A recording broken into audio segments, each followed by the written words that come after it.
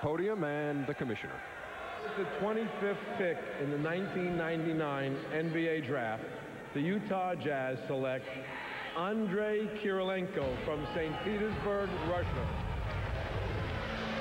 An early entry candidate is Andrei Kirilenko. Only 18 years old.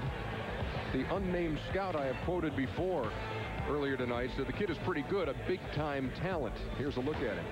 Yeah, you're dealing with a six foot nine, 205 pounder. He plays for a Division One team in Moscow. Now you can see the athleticism is there.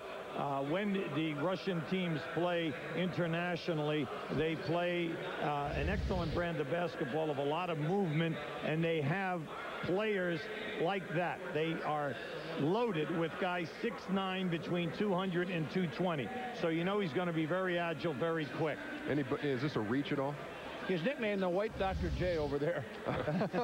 and, uh, I don't know. No, that's what they call him, John. I don't know. I'm just telling you what the Russians are calling him. but I think what happens is the Jazz got a number of girls on their uh, women's team, on their foreign team from that area, mm -hmm. and uh, both Scott and Frank have gone over there.